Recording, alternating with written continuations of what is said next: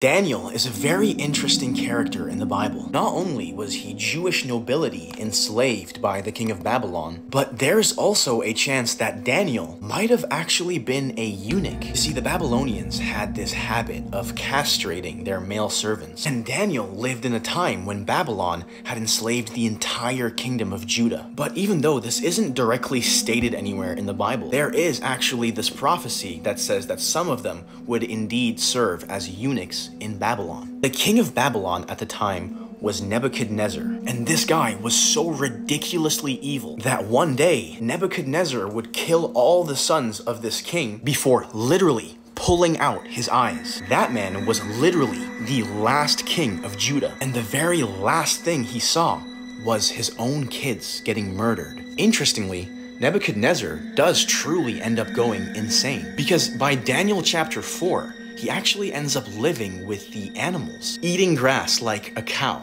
until he finally honors God.